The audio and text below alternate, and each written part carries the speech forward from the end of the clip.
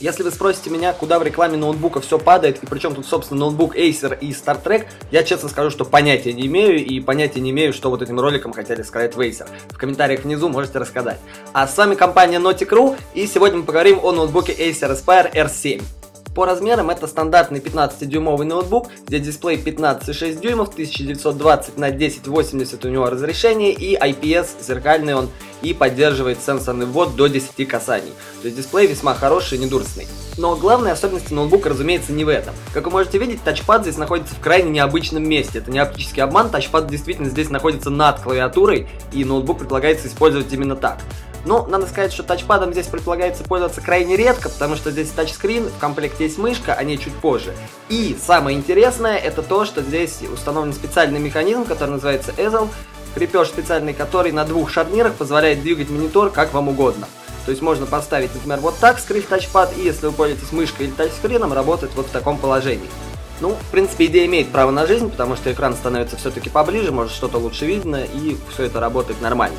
А вот такое положение достаточно спорно, на наш взгляд. Ну, конечно, можно и пользоваться этим режимом для того, чтобы показать что-то собеседнику, который с другой стороны стола, но, честно говоря, такое редко бывает действительно нужно. А пользоваться ноутбуком именно как консолью, все-таки здесь клавиш недостаточно, и планшетных приложений тоже не так уж и много. То есть, скорее всего, вы все равно будете пользоваться классическими вариантами. Также есть вариант в виде планшета, вот так вот. И здесь, естественно, датчик переворота. Но следует отметить, что в планшетном режиме экран не до конца закрывается. Вот здесь он немножко прогибается, и все это не выглядит как действительно такой классный планшет. Например, у того же IdeaPad Yoga 13 было лучше планшетный режим. Ну, принцип механизма EZL вполне понятен, да, два шарнира, и как угодно мы можем ставить дисплей. Он достаточно тугой, то есть дисплей ниоткуда не падает, не проваливается, все очень прочно закреплено. Вот многие отмечали из обзорщиков, что всю эту конструкцию легко двигать одной рукой и не нужно при этом упираться в ноутбук вот левой рукой, как я. Не знаю, у меня так не получается. Механизм действительно очень тугой и как-то веса нижней части не хватает не для того, чтобы все это дело красиво переворачивалось. То есть я использую две руки, второй все-таки придерживаю ноутбук. Но на мой взгляд это хорошо, потому что тугой механизм позволяет всему этому делу не заваливаться. Помимо всех этих интересных конструкций, здесь также весьма интересная начинка. Она напоминает нам Aspire V5 последний. И теперь посмотрим немножко внешний ноутбук и перейдем к тестам. У нас пластиковый корпус, сама эта петля металлическая, а все остальное у нас сделано из серого пластика. И посмотрим на порты. Здесь следует отметить, что есть мини-дисплей порт, на который в комплект идет переходничок на VGA, и здесь всего три порта USB, причем один из портов USB 2.0. Толщина ноутбука составляет 28,5 мм, то есть это не ультрабук, это именно обычный ноутбук, но с интересными особенностями. Вес здесь составляет 2494 грамма, то есть 2,5 кило, тоже такой стандартный вес для пятнашки. И теперь производительность. Здесь низковольтный Core i7 и GT750M на видеопамяти GDDR5. Ну, также есть конфигурации на низковольтном Core i5, и которые не имеют дискретной графики, то есть Core i5 и встроенное графическое ядро. Теперь посмотрим на тесты, и как можно видеть, тот же Tomb Raider 2013 неплохо работает на средних настройках, но высокие уже поставить не получится, там очень сильно проседают кадры.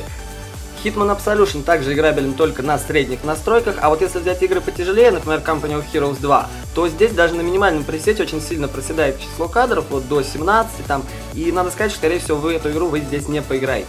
Crysis 3 низкие настройки, отключено сглаживание, и тут, ну, 20 кадров можно выжить. Ну, не знаю, мне кажется, все-таки это некомфортно, мне игра казалась, что подтормаживает. И это все происходит именно из-за низковольтного процессора, то есть GeForce GT 750M она, в общем-то, должна вытягивать эти игры более-менее, но здесь все упирается в то, что здесь низкая частота у процессора и все упирается именно в него. Метро Last Light, у нас низкие настройки, можно видеть, что число кадров низкое. Если понизить разрешение, то уже будет получше, уже будет 39 кадров среднее число, то есть играбельно. Более простые игры, такие как World of Tanks, например, идут на высоких настройках вполне сносно, и играть в них можно без всяких проблем.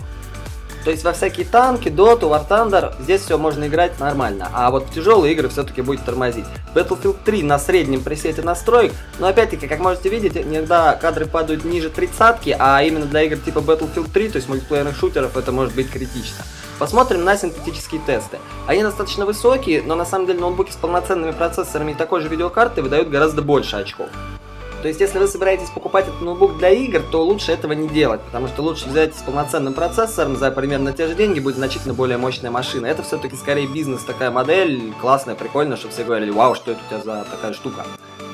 Если вы собираетесь работать на таком ноутбуке и ваши рабочие программы не требуют мощной видеокарты, то лучше взять вариант без дискретной графики, к тому же он значительно меньше греется. Теперь посмотрим на дисплей и на углы обзора.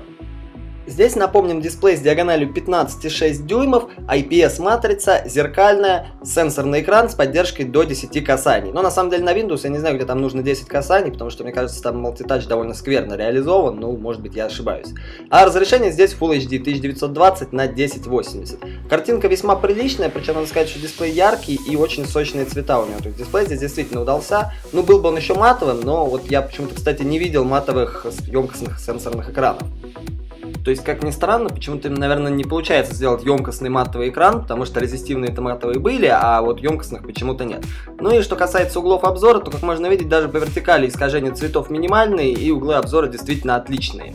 Что касается акустической системы, то здесь это Dolby Home Theater, но надо сказать, что она вполне обычная для ноутбуков такого уровня, то есть ничего сверхъестественного от звуковой системы здесь ждать не приходится. Теперь посмотрим на рабочую область. Как мы уже сказали, она пластиковая. Вот здесь, кстати, не очень неплохо греется все это дело. Можно подогревать чашку с кофе, кстати.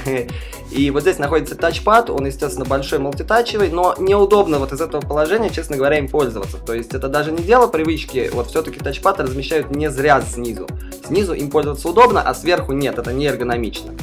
Поэтому проще подвинуть дисплей так вот, как задумано, вот в такую конфигурацию, и пользоваться сенсором или стилусом, который в комплекте, или мышкой, опять-таки, из комплекта. Клавиатура оснащается светодиодной подсветкой, она полноразмерная, она просто перенесена в другую часть, то есть здесь просто поменяли задом наперед. Закреплена она просто отлично, нигде абсолютно не прогибается, просто намертво сидит. Клавиатура в целом нам понравилась, очень хорошая, ход клавиш вот такой, какой должен быть, гладенькая поверхность, но Enter, как всегда, странно сделан. Вверху много функциональных клавиш, здесь есть подсветка белого цвета, и еще здесь есть интересные клавиши, такие как блокировка тачпада, ну, которая присутствует везде, а здесь еще есть блокировка клавиатуры. Это нужно для того, чтобы если вы в конфигурации планшета закрываете экран вниз, чтобы у вас не срабатывали случайно кнопки. То есть в целом это продумано. Что касается нагрева рабочей области, то клавиатура достаточно прохладная, а вот верхняя часть очень неплохо греется. И также очень неплохо греется дно, так что на коленях на самом деле в тяжелых приложениях будет некомфортно работать. Посмотрим теперь на дно. Здесь Soft Touch пластик, вот здесь вот находится резет для того, чтобы нажать его иголкой, такое углубление. Для того, чтобы попасть внутрь, нужно открутить 13 винтов, причем 3 из них находятся под ножками, которые нужно отдирать. Это вот такие резиновые ножки, они подцепляются ножом, отклеиваются и под ними находятся винты. И мало будто бы этого было, здесь винты торкс используются, то есть со звездочками. То есть внутрь еще не так-то просто попасть. Снимаем крышку и смотрим, что у нас внутри есть. Начнем мы с отсека для жестких дисков. Здесь стандартные 2,5 дюймовые накопители. В нашем случае это жесткий диск Western Digital Blue на терабайт со скоростью вращения 5400 оборотов в минуту. Бывают разные конфигурации, там 500 гигабайт, 750, по-моему, и бывают конфигурации с SSD. Теперь оперативная память. Здесь один слот, здесь установлен, как это ни странно, no-name модуль, то есть никаких обозначений от какой фирмы нету. Модуль здесь на 4 гигабайта. Максимальный же объем памяти составляет 12 гигабайт, это потому что еще 4 гигабайта распарены на материнской плате, то есть все, что можете, это заменить 4 гигабайта на 8 гигабайт, и тогда у вас будет 12. Дальше у нас система охлаждения, здесь два вентилятора, но во варианте без дискретной видеокарты правого вентилятора нету, то есть там просто вентиляционное отверстие. И температуры у нас получились достаточно высокие, но, в общем-то, ноутбук не перегревался. Хотя корпус у него реально очень горячий, а вот внутри все более-менее для летней жары. Вот здесь MSATA слот, он пустой, сюда можно установить какой-то свой SSD накопитель, и бывают конфигурации, где этот MSATA слот уже занят чем-то. Теперь посмотрим на батарейку. Здесь 3560 мАч или 53 Вт-часа литий-полимерная батарейка. У нас ноутбук поработал 4-4,5 часа в тесте чтения. Вот здесь два динамика попарно расположенные. Ну, звук, как мы уже сказали, вполне неплохой, но ничего особенно выдающегося. Теперь пару слов о комплектации. Ну, здесь есть тряпочка для протирки экрана, с ней все понятно. Вот эти две штучки мы не стали их распечатывать. Это переходник с LAN на USB для того, чтобы пользоваться Ethernet кабелем. А вот это переходник с мини-дисплей порта на VGA. На самом деле очень удобная штучка, я сам пользуюсь примерно такой же для своего MacBook. Для старых мониторов, которые, например, на работе у меня стоят. Это мышка стандартная, тоже ничего особенного. Три кнопочки, переходничок у нее, не переходничок, а адаптер. И работает она от одной пальчиковой батарейки. А вот самое интересное это стилус. Он очень стильный и круто выглядит, как дорогая ручка а на верхушке у него как бы такая тарелочка на пружиночке, сложно как-то объяснить, вот проще на фотографиях посмотреть. Она гнется в разные стороны. Это типа как нужно для более удобного пользования стилусом, но я каких-то особенных преимуществ от этой конструкции не ощутил. Но работает все хорошо. Следует заметить, что когда эту модель только представили публике, там было очень много комментариев и отзывов в духе «Ахаха, Acer, что ты делаешь, прекрати».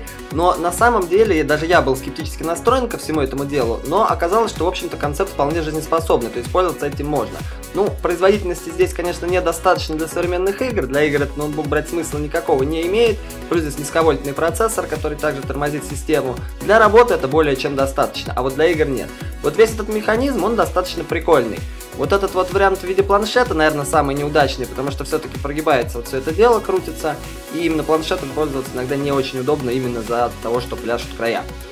Вот, кстати, по поводу еще раз подъема одной рукой. Я не знаю, как одной рукой все это делается, потому что конструкция просто поднимается вместе с крышкой. Очень тугая эта петля.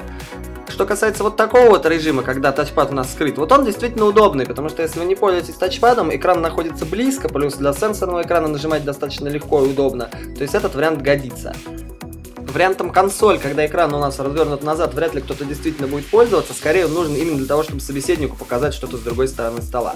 Но он также хорошо закреплен, не особенно прогибается, то есть можно вполне пользоваться. Плюс здесь экранная клавиатура, но опять-таки немножко странновато. Плюс горячий воздух вам в руку будет идти, то есть проще его развернуть и пользоваться классически. А вот собеседнику с другой стороны стола показать вполне удобно. Показал, он перевернулся, посмотрел что-то там, он переделал, и ты повернул это к себе. Ну не знаю, насколько это в жизни пригодится, но возможность такая есть классическом ноутбучном варианте тачпад портит, конечно, картину, потому что им пользоваться реально неудобно, но я нашел другое применение освободившимся местам, плюс кружечка подогревается, как я уже сказал, если тяжелые приложения запустить, там будет где-то 45 градусов, то есть кружечка все-таки немножечко не так быстро остывать будет. А что касается цены, 47,5 тысяч стоит модель из обзора, ну и есть варианты немного подешевле. Спасибо за внимание, всем пока!